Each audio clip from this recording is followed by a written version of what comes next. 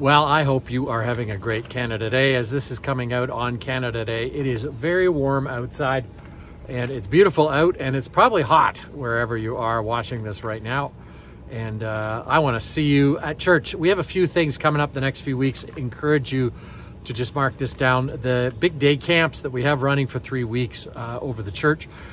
Uh, we just want to pr praise the Lord uh, for so many young people who are volunteering and helping and leading these camps. And uh, every week uh, we have a new camp for three weeks in a row. So remember to pray for those kids and youth, really, uh, that are leading it. So pray for the kids, number one, that are coming to the camp, and pray for the youth that are leading the camp or some of the young adults. And it can be very, very meaningful. It's not something we want to put to the side and just say, does this matter? It really does matter. I've seen kids at church in the last few months uh, at different events that came that, that they started coming to the to not to the event that they came to they came to the event because they'd come to the kids uh, summer programs. So it is not something you just want to forget. You want to be praying this summer. And i'm looking forward to what the lord is going to do for those kids and for the leaders that are helping with them all. And uh, if you got to make some adjustments to uh, pray uh, you know you can always pray. You don't, you know, sometimes people are like, well, I got to make an adjustment to my schedule to make time to do something. Well, you don't ever have to really make much, much of a muster much of an adjustment to uh, pray. You can always fit time in to pray. You can't help in the camp, you can pray. As I am speaking today, there are deer flies out here. Now, I think I'm okay where I am you just don't, but I see one buzzing around and I am going to be freaking out if these things start coming at me. Tis the season and it ain't to be jolly, I'll tell you that right now. Oh, deer flies, unbelievable. If you see me jump, you know what's going on. All these things drive me nuts. I just don't like those few weeks while they're while they're active. They are not friendly. They need to take a friendliness course, deer flies. They have all, they don't have your back, they bite your back. These guys are a piece of work. So if I jumpy, you know what's going on. It's just deer flies I can see buzzing around. Well, on Can this is Canada Day when we're talking, and over the next few weeks as the camps and the kids' camps are going on, look forward to seeing you at church. There's a lot of different things. Uh, we support Canada. We want to pray for our country, and this is a time our country needs a lot of prayer. Seems like all countries need a lot of prayer. Uh, and it's a burden that many of us have praying for the nation and praying for each other. But I know that the Lord wants you to be blessed on this Canada Day. We looked at the outpouring of the Holy Spirit and looking at that, how does God move? Joel 2:20 or 2:12 and Jeremiah 29:10 give us little insights. We can see pictures in the Old Testament of what the outpouring of the Holy Spirit is promised to look like when it comes to the New Testament. Jeremiah 29 10 says, When you look and see there's a restoration, I promise I'm going to bring you back based on a scripture. This is the scripture. Daniel sees this scripture when he's reading his Bible. He's like, It's time to get the people out. But this is the little caveat, Jeremiah 29 10, when it talks about I'm going to fully restore you to the land. It says, When you seek him with all your heart. Now, Joel 2:12 says, I'm going to pour out the new wine, the oil, and the new grain, which is the Holy Spirit, Holy Spirit power, and the promises of God. Those are the three things that it always symbolizes in the Old Testament. And it says, I'm going to do this when it when it gives the caveat. When you seek with all your heart, then I'll do it. So when we want to see God move, not just in a time of refreshing, but start to what the Bible calls restore we often pray, well, God, heal our land, or God, restore Canada, or God, do this or that or the other thing. This is not really what our word for restore, when you read in the Bible, it's not really giving you an image today, our word, for when, when you read what these promises are, there's a fulfilling of something that God's going to restore like crazy blessings. And there's it really lacks the impact our word restore when we think restore, we're like, we're going to restore the kitchen cupboards and we're going to restore the front door. And it means usually you're going to sand it down and we're going to just take a little sanding and take a little deck time and we're going to stain it. That's what we think of as restoring, restoring an old house. Now, I'm not trying to be a jerk, but I'm not sure that really gives us the image of what is in the capacity of God to do for us. How do we see God move? The fulfillment of promises that God has for our country, for our nation, for our families, for a person. How do you do it? It's when you seek Him with all your heart. It's a funny thing. You would never really say, like you say, I got to restore a piece of furniture something's broke, I need to restore it. You kind of think I need to fix it. Fix it to what standard is a way of putting it. The Bible gives you promises of what God will do for his people. When you put your foot in the door, it doesn't mean you're in the house, means you're in the door. You got to go in to get into the house. So a promise is like a door. So God makes a promise, which is like it spells it out in the Bible I'm going to do this thing for you. You can get in the door, but not be enjoying the house. And there's, you know, you, you often say, you know, don't leave the door open, a mouse might get in or a squirrel or something. So you can have the door just a foot hold in the door, but not be in the house. When you restore, the way to get into what God has for you is through the heart. And this is the thing that's important to say when times of refreshing happen, like a time uh, I'll pour out a time of refreshing, it's good. It's part of what God's plan is. But then there's this second part, which is restoration. That's getting in the door to something, the fulfillment of a whole series of promises. And that's dependent on seeking God with all your heart. I think that you can have a time where you're refreshed, like it's a hot day outside, you go for a swim. That's refreshing or a drink or a cold drink or an ice uh, ice cold pop or whatever. Very refreshing. But restoring something is very different in the biblical context. I think we often think uh, Zechariah 9:12. We don't think of this verse very much. Return to the stronghold, you prisoners of hope. Even today, I declare that I will store double to you. So there's times where God does a good, like we can do a good job of restoring a piece of furniture, but God will do something for you when you turn your heart to Him. And there's even promises where it will He'll restore it double. He'll pay back at other places. It says the years that the locusts have eaten. Restoration in the Bible, and this makes no sense to us, is outpouring. The outpouring of the Holy Spirit is restoration. And here's three things it always builds up or is upbuilding. It is never tearing down, it is always building up. It comes out in our words. When the Holy Spirit fills you, it comes out through gifts of the Holy Spirit, it comes out in our talk, it comes out in how we treat each other. The gifts of the Holy Spirit are set in that mantelpiece within the church. They have to be upbuilding. And the ministry gifts are only for building up the body of the saints, meaning the fivefold ministry. It's a strange thing. You never think of what does God want to restore. One of the things you see is the outpouring of the Holy Spirit only by nature builds up. It literally can't and doesn't tear down.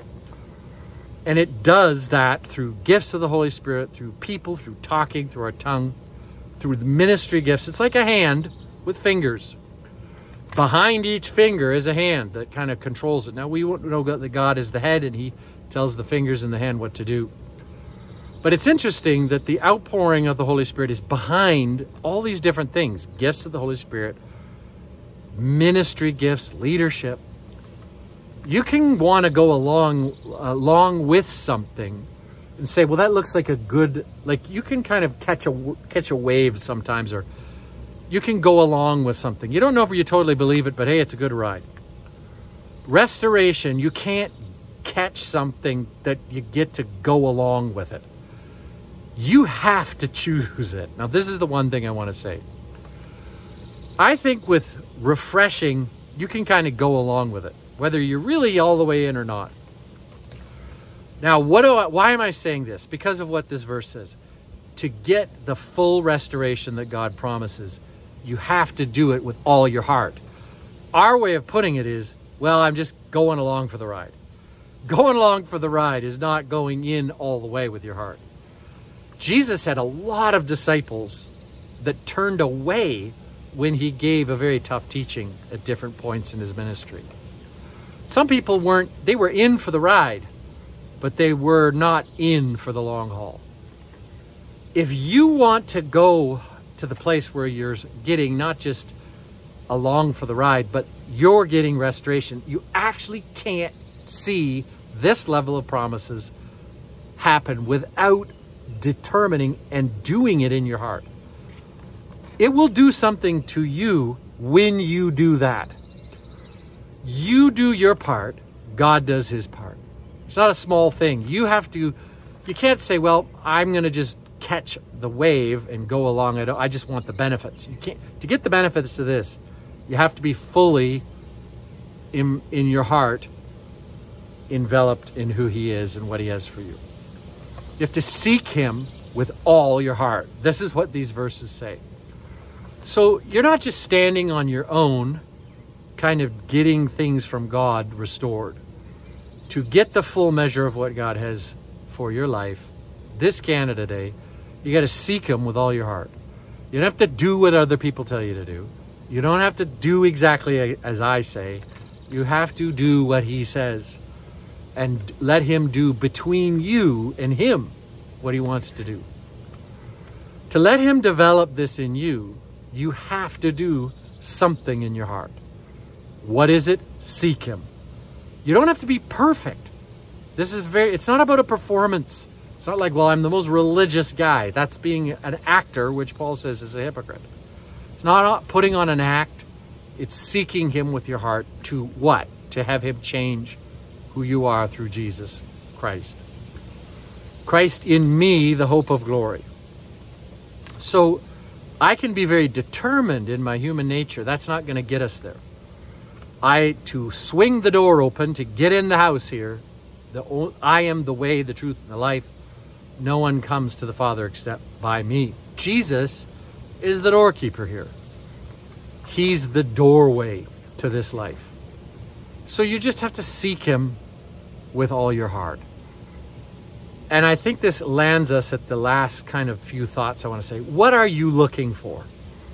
Now, in Canada, you can be looking for good fireworks, and people will drive a long way to do that. A barbecue. You can be looking for a lot of different things. What What is it you like to do on Canada? Barbecue, uh, steaks, picnic, beach, swim. I'm not sure. I know what I like to do. I don't know what you like to do. What is it you're looking for, though, with God? if you're seeking him with all your heart, really what you're looking for here is him.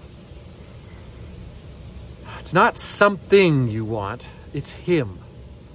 If you seek me with all your heart, then I will bring these blessings into your midst.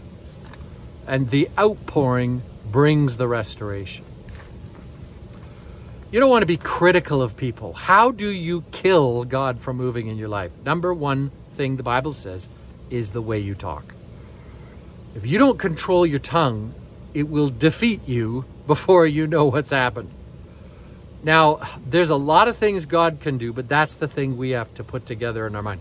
The Bible actually says the tongue is such a dangerous thing. It can either it can light huge fires. A ship is steered by a tiny rudder. Your life often is determined by your heart. Out of the overflow of the heart, the mouth speaks. A transformed heart will not limit your speech. It will set it free. Things that you say will be a confession of what's in your heart. It's great to know good teaching and doctrine, but God isn't necessarily he's he he doesn't want bad anything teaching or doctrine. You'll you'll you'll go nowhere. You'll get deceived. But really, I know people that know almost the whole Bible and they don't know Jesus, which is shocking if you're in university or a professor, knows almost more than 10 guys like me put together, but he's not a born again person at all. So you can, what are you looking for? Are you looking for knowledge? Are you looking for relationships? But really, you gotta, you know, are you looking to hammer other people with your, uh, to get them to do what you want?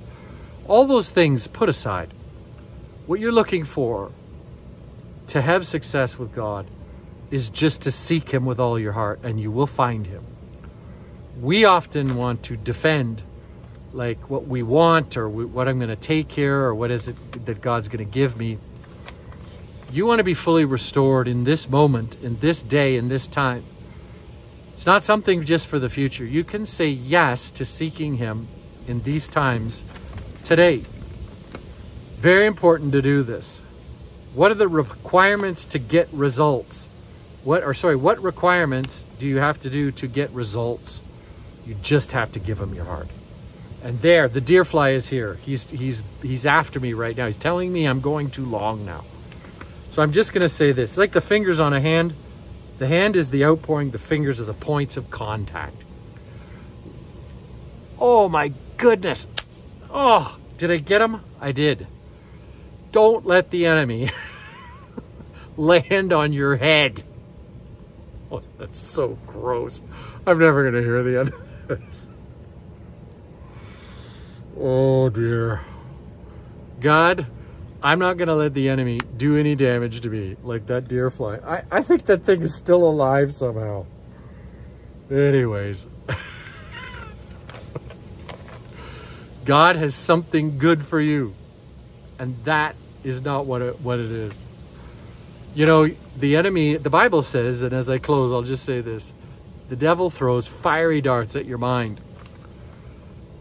It's not in your mind that you're going to defeat the devil, it's in your heart.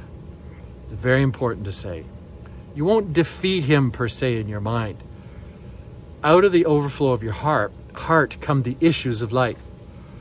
Yes, you can be structured. Yes, you can be thoughtful. Yes, you can be intelligent. Yes, it's good to read books. Yes, it'll take you a long way. But what God's looking for to kick into motion, the enemy, he comes at the fiery darts in your head. The Bible says, put on the helmet of hope, which is salvation. Put on the full armor of God so that those things that land on your mind won't, won't go anywhere. When your heart is on fire for God, it doesn't matter what hits you in the head, so to speak. My heart will dictate my life. My heart goes to God if I seek Him with all my heart. Doesn't matter what the enemy does, my heart belongs to Him. Then my, my life is in His hand. And He can knock down anything that the enemy sends. I pray you have a blessed Canada Day. What are you looking for with God? to serve him and seek him with all your heart. Lean not on your own understanding, but acknowledge him in all your ways, and he will direct your paths. He knows where he's going, and he can take you there. In Jesus' name I pray. Let him take your heart. Amen.